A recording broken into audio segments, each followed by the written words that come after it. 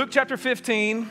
I want to go ahead and read the text with you. Luke chapter 15. This is one of the most f- famous stories in the whole Bible. It's the story of the prodigal son, except there's actually two lost sons here. And the Bible says in, in chapter 15, verse 11, that Jesus continued. There was a man who had two sons. The younger one said to his father, Father, give me my share of the estate. And so he divided his property between them. And not long after that, the younger son got together all that he had and he set off for a distant country, and there he squandered his wealth in wild living. After he had spent everything, there was a severe famine in that whole country, and he began to be in need. And so he went and hired himself out to a citizen of that country who sent him to, the, to, to his fields to feed pigs. And he longed to fill his stomach with the pods that the pigs were eating, but no one gave him anything. When he came to his senses, he said, How many of my father's serv- hired servants have food to spare? And here I am, starving to death. I'll set out and go back to my father and say to him, Father, I've sinned against heaven and against you. I'm no longer worthy to be called your, your, your, um, to be called your son. Make me like one of your hired servants. So he got up and he went to his father. But while he was still a long way off, his father saw him and was filled with compassion for him and ran to his son, threw his arms around him, and kissed him.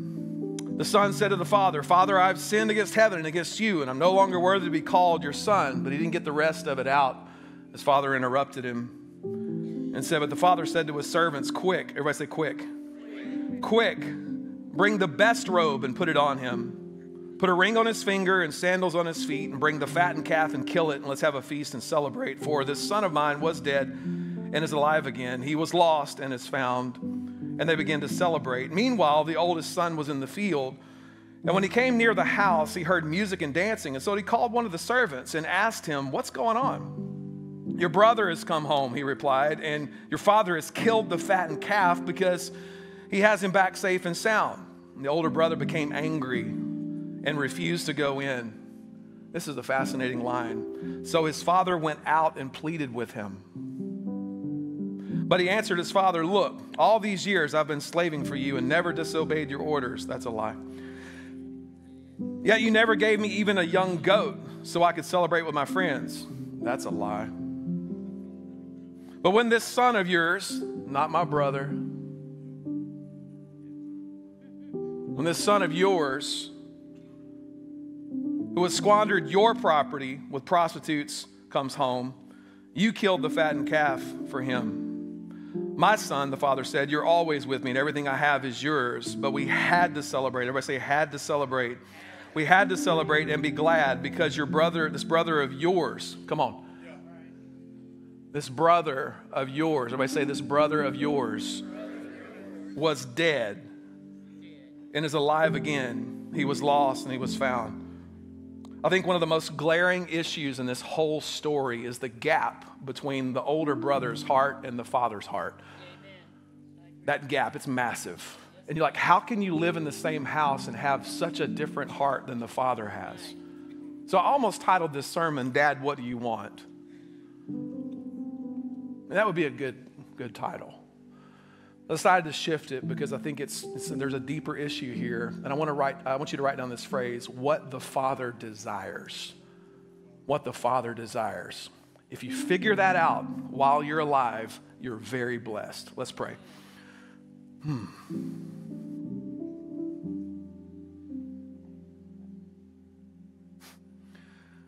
Father, the best example I have is like if we were throwing a 75th birthday party for each one of our dads. Who would be invited to the party? What would be the food? What would be the music? Who is not invited?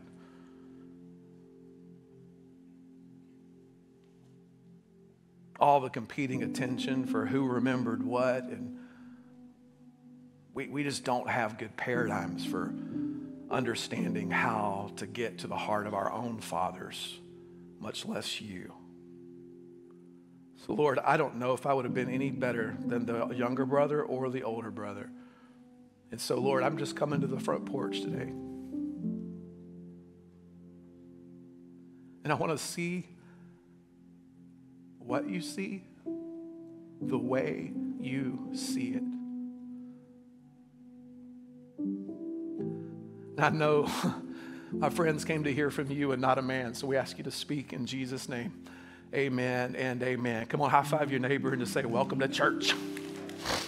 Whew. Welcome to church. Well, if you're taking notes today, I want you to write this down. If you're not taking notes today, I want you to write this down. Three things the Father desires. And the first one is this it's a kazaza, kazaza free family. A kazaza free family. Now, kazaza is not a word that probably anybody uses ever. And I'd be surprised if you've actually even heard this word. It's a Hebrew word, but it's kazaza. Kazaza. Everybody say kazaza. Kazaza, one more time, kazaza. The word kazaza, it means the cutting off. It means the cutting off. So, um, a couple of things I want to give you just as, as a, like a paradigm, just to kind of take a look at references, is that the Bible is made up of 66 books, right? And the very first five letters or five books of the Bible are called the Torah. Everybody say Torah. All right, so the Torah, it's, it's Genesis, Exodus, Leviticus, Numbers, and Deuteronomy, okay?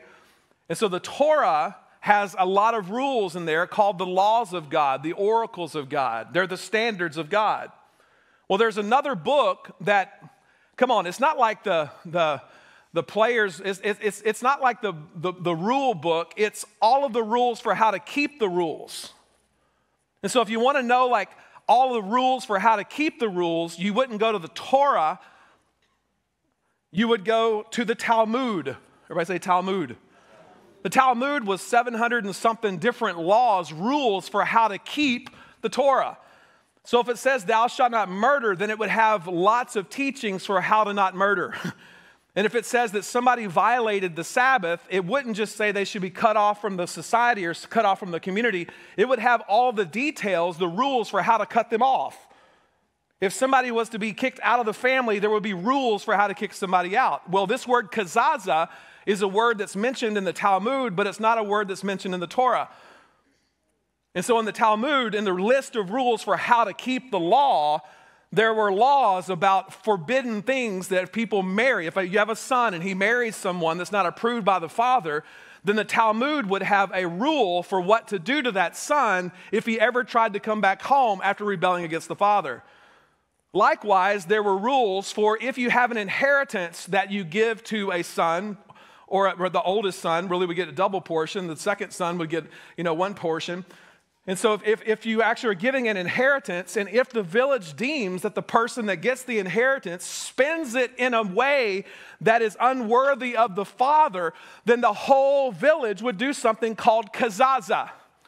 And I thought about bringing out a clay pot today and putting a stone like on the platform because the picture here is that the whole village, the elders of the village, if the person was to ever come and try to enter into the community again, then what would happen is they would fill this huge clay pot up with the most rank, stank smell of stuff. I'm talking about dead fish, eggs, and everything else. I mean, whatever they can put in there they would smell, all right?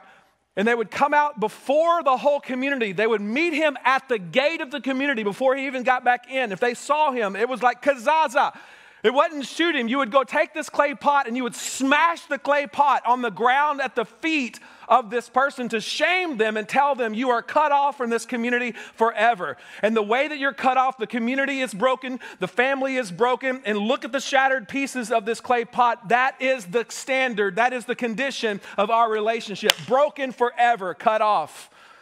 Kazaza. And so you have this, this battle going on where, in some way, you know this. If, you, if you've read scripture a lot, you, you're aware of this that somewhere inside that Jewish leaders who want Jesus to stop welcoming sinners, he wants to expose something in their Talmud. And there's something in their Talmud that is preventing them from celebrating someone they think should be cut off. So Jesus says, What if there's a lost sheep? You go find it. They're like, Oh, cool story. I'm not a shepherd. Find a lost sheep. And then a woman loses a coin. Okay, we get that. But now there's a lost son. And they don't just describe, describe something shameful, they describe something that's unimaginable. There's a guy by the, the name of Kenneth Bailey.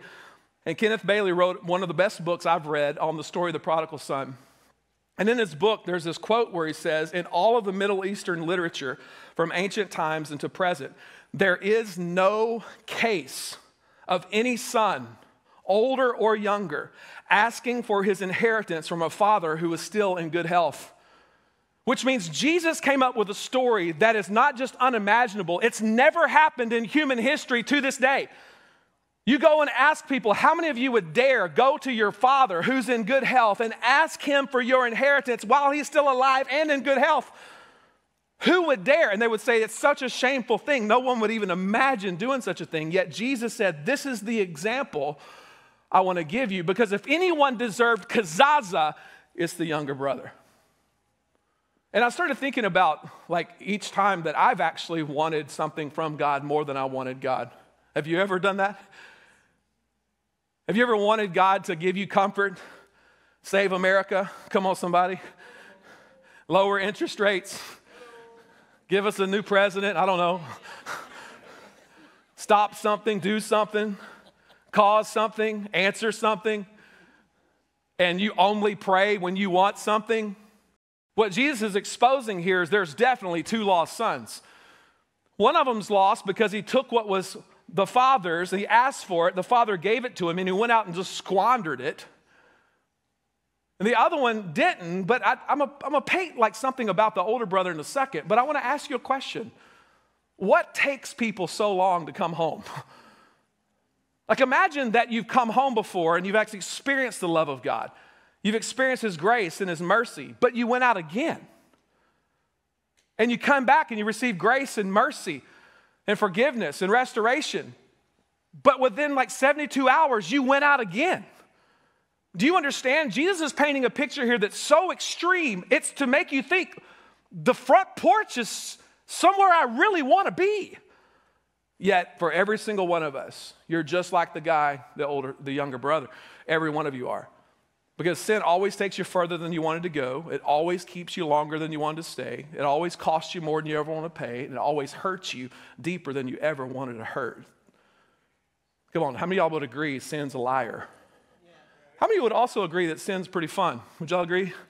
I mean, if you don't think sin was fun, you just weren't that good at it. You know what I mean? Like, for real, sin's fun. It feels good for a season. But the boy isn't coming home, not because sin isn't fun or because sin is fun or anything. The boy's not coming home for the same reason that you don't come home. It's because there's a voice that just hits you over the heart that says, no matter how many times you go home, you're never gonna change. You can't change. You are prodigal. You are lost. You are. You are. You are. I would have you write this phrase down. Shame is the number one reason it takes us so long to wake up and come home. Shame. So I want to break something down to you because I want you to get this picture. I want you to get how drastic it is. Like what I would what I would have you like c- consider is the older brother had what I'd call the Jon Bon Jovi mindset. Come on, everybody say Jon Bon Jovi. Y'all remember that, that song the great theologian Jon Bon Jovi wrote? I'll, I'll, I'll say the first part and you finish it. Ready? Shot through the heart, and you're to blame. Darling, you what? All right, sing it. Ready? You get, no, don't. When I think of like people that have actually ruined the name of something, I mean, it's, you, you, we could all come up with a list of people that actually gave something a bad name. Like all of us, you know, remember there's several stories. I'll give you one, but one, I'll give you a few. One is Lance Armstrong.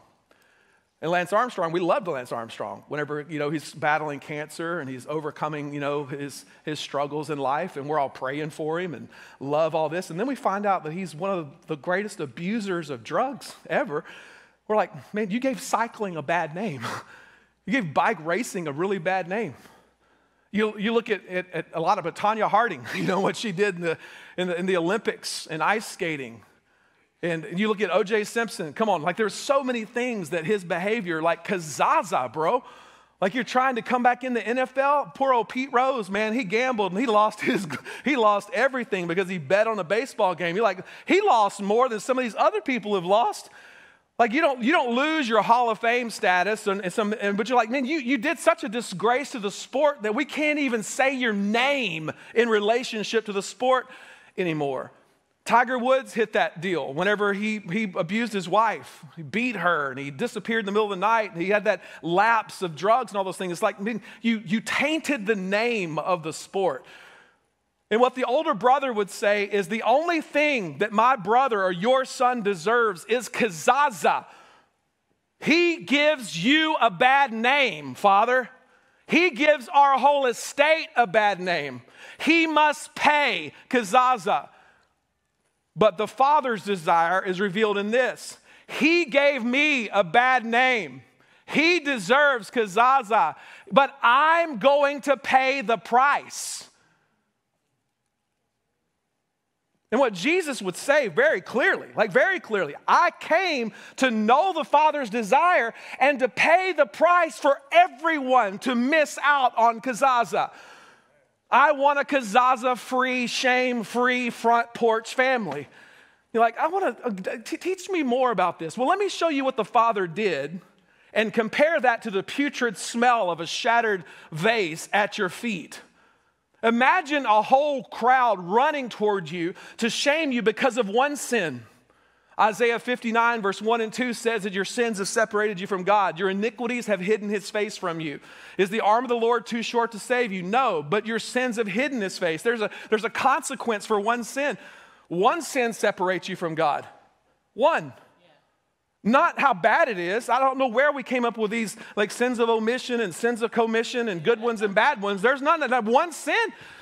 Like all she did was eat an apple or a pear or a fig or something. She just ate a piece of fruit. No, she had pride in her heart. She rebelled. And that one act of rebellion caused the entire human race to fall.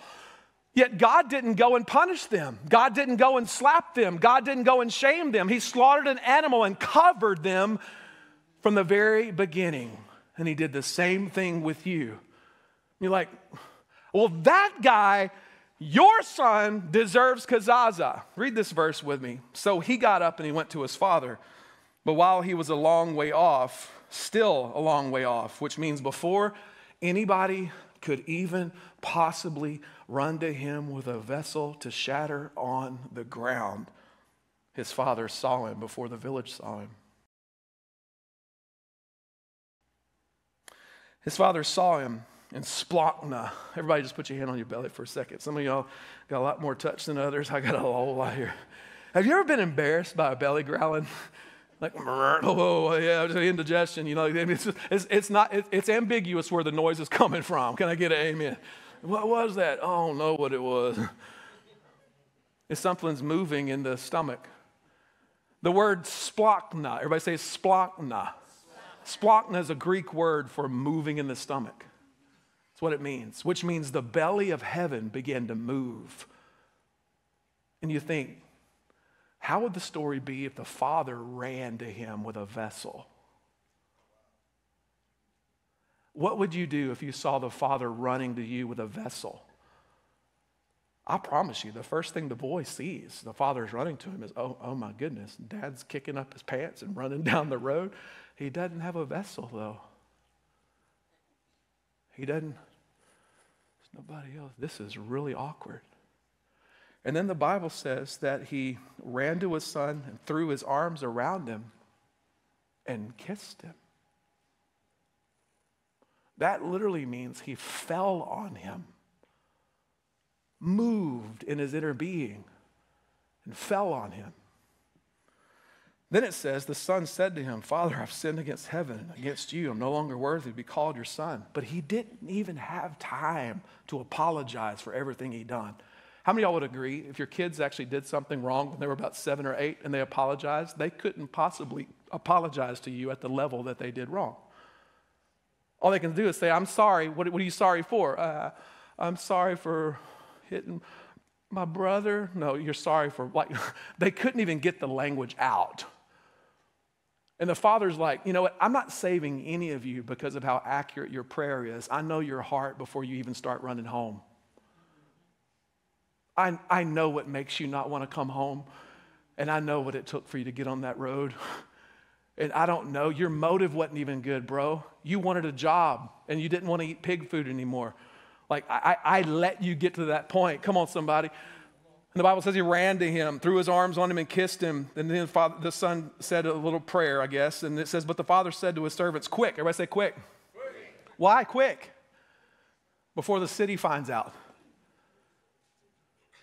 Before the religious leaders find out. Before anybody gets their clay pots ready. Quick.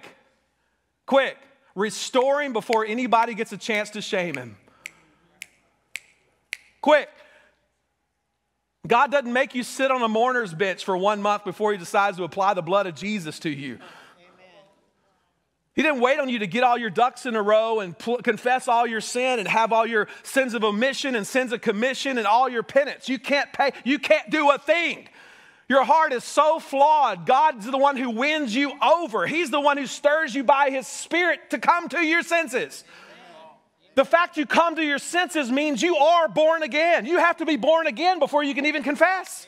He bore, he, his spirit hits your heart, it's boom. You're like, I don't even know what. I'm not sitting here another day. I'm moving home. You start moving home, you don't even know why. It's because God's love has won you over. Come on, praise Him. He's won you over.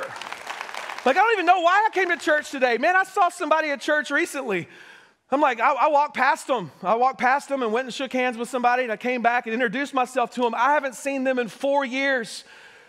And I said, Hey, I'm Jeff Jenkins. And when they told me their name, I started weeping because I haven't seen them in four years. And I know how hard it was for that person to get on the road and come home.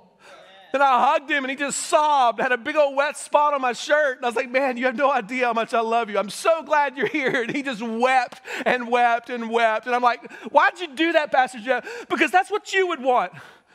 If somebody wrote your name on the wall out there, the make room wall, and been praying for you, come on, some of y'all need to go out there to the wall and make sure your name ain't on there. Somebody wrote, somebody wrote Bo on there. Pastor Bo's joking, like I think my wife ratted me out, wrote my name on the, on the wall.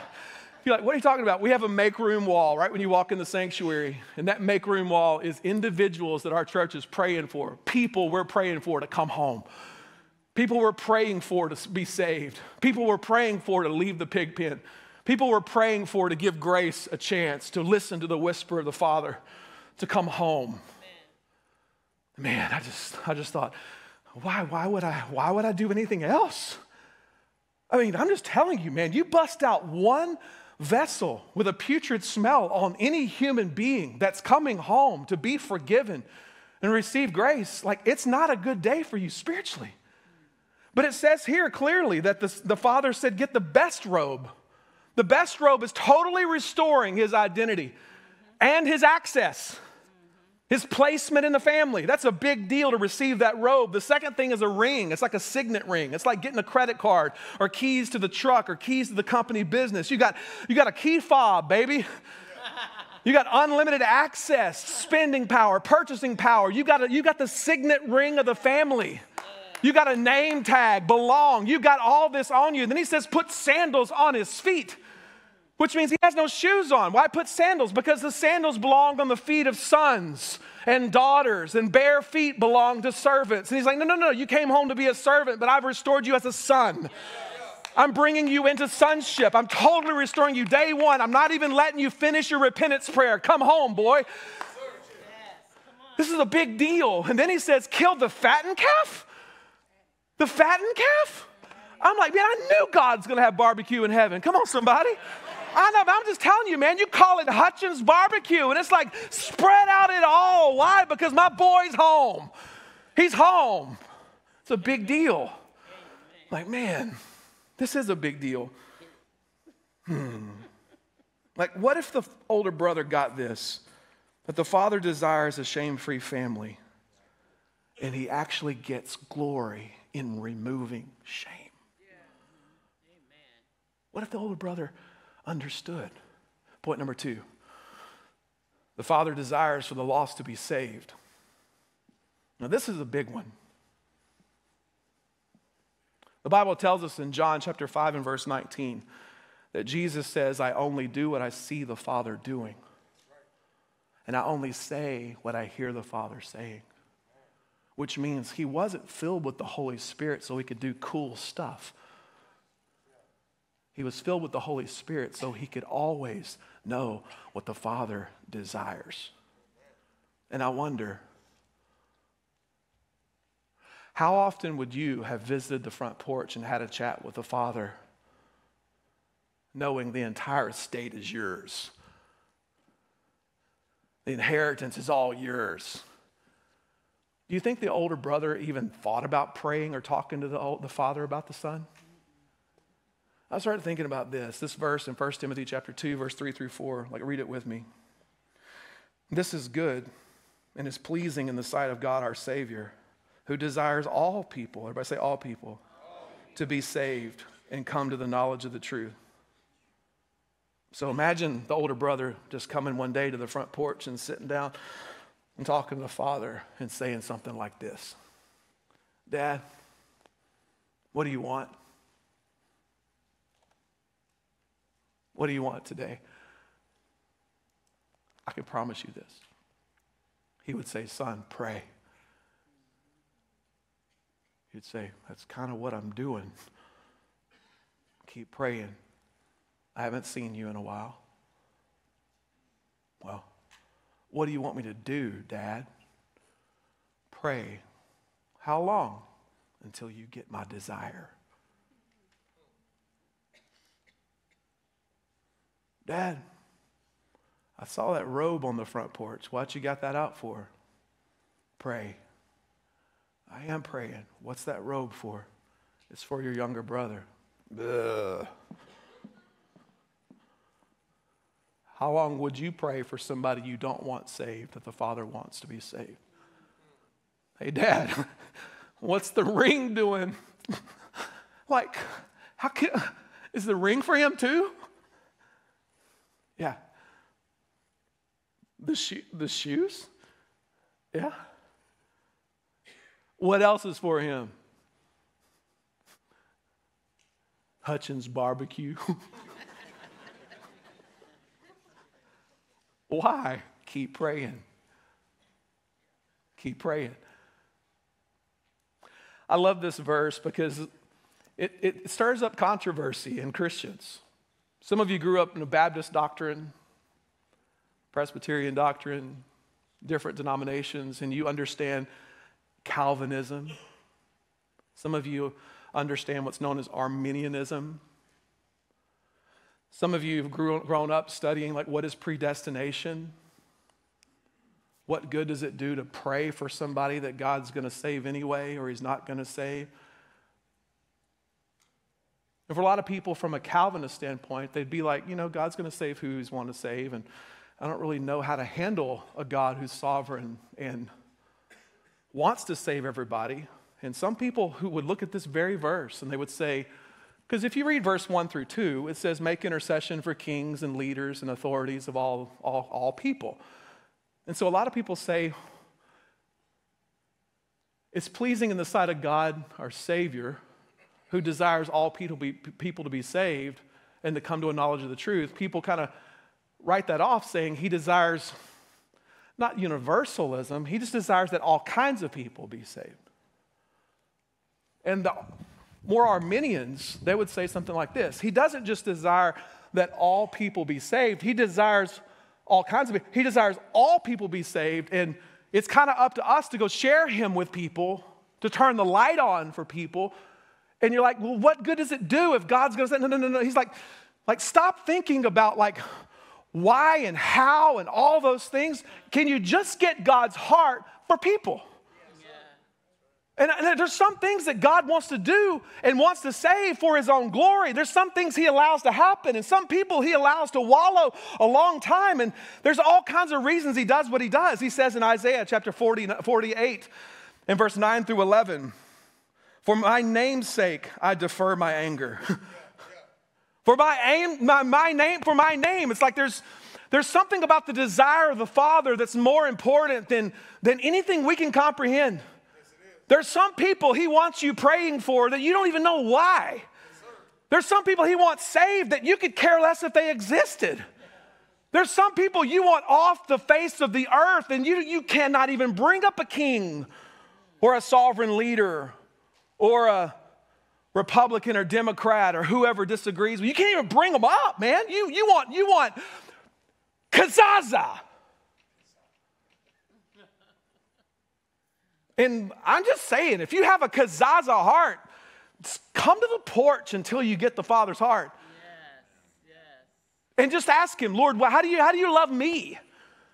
And God says, There's some things I do, and I restrain it for you, that I might not cut you off. Behold, I've refined you, but not as silver. I've tried you in the furnace of affliction for my own sake. God, why are you so good to me? I, if I told you, you wouldn't even know. Why was I born in this family? They did it for my name's sake. Why did I get these parents for my name's sake? Why do I have these tendencies for my name's sake? Why, why am I so lost and alone? Why is shame so heavy on my heart for my name's sake? There's some things I'm allowing because when you break, baby, God's got a lot of people just like you. He wants you to go back and redeem. He wants you to go share Him with. He wants you to love Him. Don't be golf clapping Jesus. Go ahead and praise Him. Come on, somebody. He didn't save you to actually make you comfortable in an American Texas church. Point number three. I mean, I'll get to point three in a second. Look, shame is the number one reason it takes us so long to wake up and come home. I said that earlier, but I want you to write this down. You are never more like Christ than when you desire that all people come to salvation. Amen. Never. Jesus is constantly interceding for who? And why in the world is the Son of God interceding to the Father? That's how the Trinity works. The Son's interceding, the Father is moved, the Spirit is acting. It's a constant work of the Trinity. The Son is interceding, the Word is moving, the Father's heart, the Son is active, the Spirit is being activated all over the earth. What is the Lord Jesus Christ talking to the Father that the Father is sending His Spirit to move your tail into action? What care is He wanting to put inside of your heart? What burden is he filling you with today? You're like, I'm not really feeling. Oh, yes, you are. You came to church on the right day today. This is the move of God that's happening in our city. And I'm, ta- I'm not talking about some move that everybody talking. No, no, I'm talking about simple hearts, turning our hearts. Father, what do you desire?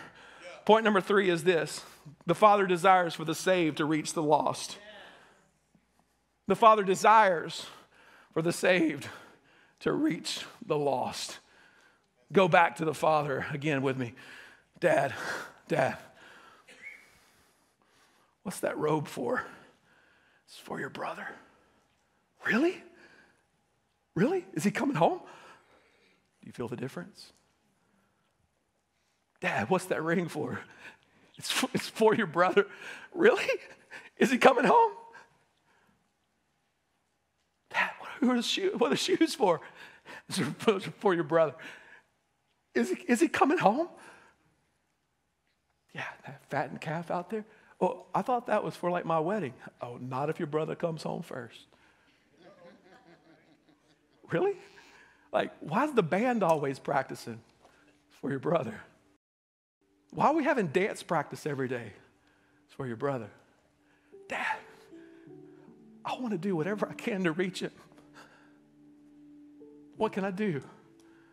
Yes, You have my heart. Now go. Because if you go to try to reach the lost without the Father's heart, you may cause them to be more lost than they were in the first place.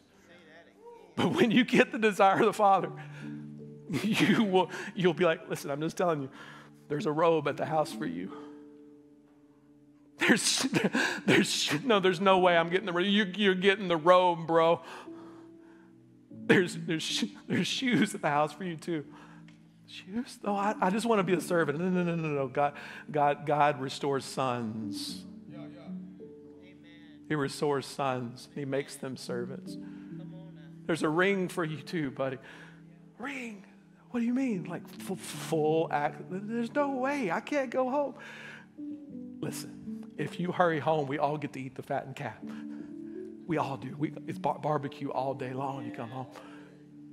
Really? Yeah. Well, what about Kazaza? That's no longer in the family. That's no longer in the family. Father, I've been talking to him a lot, and we have a Kazaza free family. And I just want to, I want you to read this verse in Acts 26. It's where the Lord Jesus leads the Apostle Paul from being a Kazaza man. The Apostle Paul was full of Kazaza, killing Christians, not just shattering pots, killing them arresting them, putting them in prison. Kazaza. He was on a mission sent from the Sanhedrin to go arrest Christians and put them in prison. Kazaza. But the Lord Jesus met him on the road to Damascus, won his heart, saved him, filled him with the Holy Spirit, and told him this I am sending you to open their eyes. You see, when the Holy Spirit comes on you, baptism of the Holy Spirit, when that Spirit hits your heart, cuts off the sins of the flesh fills you immediately with the DNA of heaven, gives you the heart of the Father, and you start talking like you've never talked before. You start longing, praying, seeing people like you've never seen them before. You start to imagine a world like you've never imagined it before. He gives you supernatural powers, which are called gifts of the Holy Spirit. But He doesn't activate you with all the gifts without His heart. He wants to give you His desire today. And watch what Jesus says to the Apostle Paul. Jesus says this I am sending you it says, I am sending you to open their eyes. You mean God uses me to open people's eyes?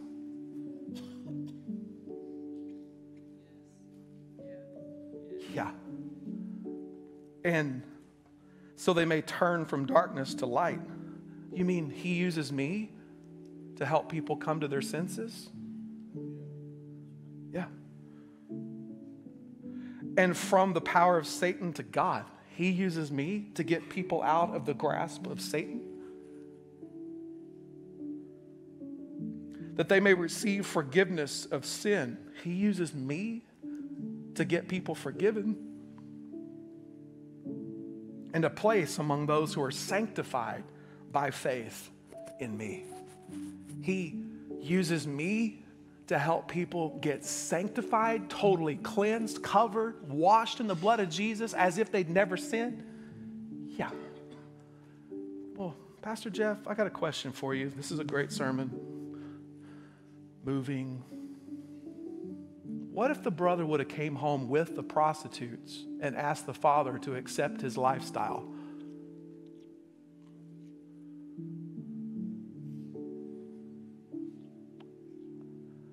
What if the son would have come home and tried to change the rules of the house, redefine language?